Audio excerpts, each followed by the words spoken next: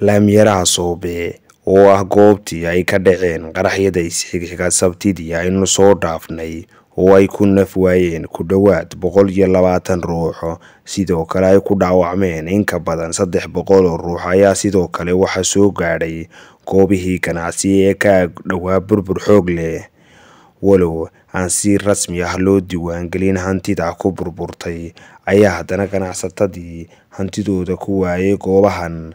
Ayaa qaar ka mid a ay durba waxa ay bilaaween dayactirka iyo dhismo xoog leh shamiitada ayaa u qasan shaqaalaha farsamada ah dhismuhuna waxay u shaqaynayaan si xawli ah.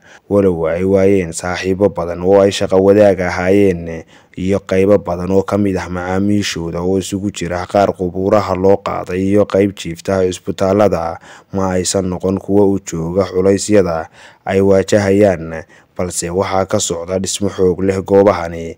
Dhanka kale isku socodka gaadiidka iyo bulshadu waxa uu u socdaa si caadi ah waa ibraahim suleymaan hanuuniye m t v. Laamiyaraha soobe magaalada muqdisho